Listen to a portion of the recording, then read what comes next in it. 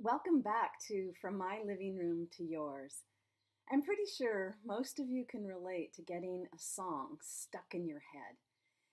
And you wonder, like, how is this happening? Why am I hearing that song? Lately, I've been waking up to the song When I Taste Tequila playing in my head. And it's not that I've been drinking any tequila. I probably just listen to the country station too much and they play the same songs over and over. But I also think there's a line in it about the beauty of Colorado that kind of replays, and I can almost smell the mountain fresh air. A few weeks ago, the song that was stuck in my head is one by Leonard Cohen called Hallelujah. The vocalist at a wedding I officiated recently provided a beautiful rendition of it personalized for the bride and the groom. There were parts that mentioned me leading prayer that spoke to me and played over and over in my head.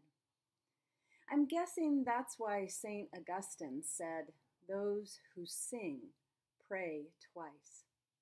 Because when we sing a song of praise to God, we're not only singing a prayer, but the words will likely get lodged in us in a more significant way than a simple prayer.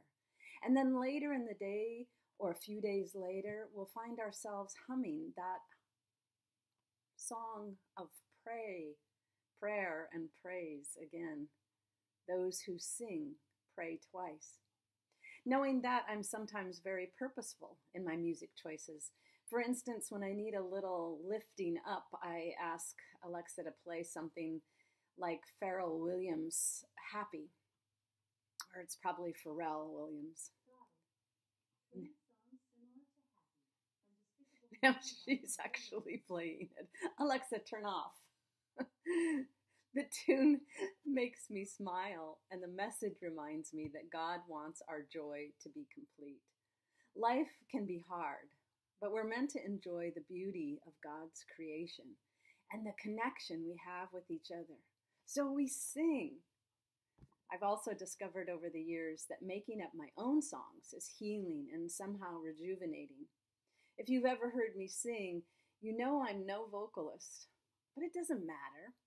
The psalmist encourage us, encourages us to make a joyful noise. So that's what I do. I make up a song that would probably just sound like noise to a musician. It's one of the ways I converse with God, sharing my gratitude for the beauty of creation. These are songs I never intend to write down or even replicate. It's just a spontaneous celebration of life in the moment. Those who sing pray twice. I hope you have fun thinking about that, maybe even trying it out. Until next time, be humble, be grateful, be kind.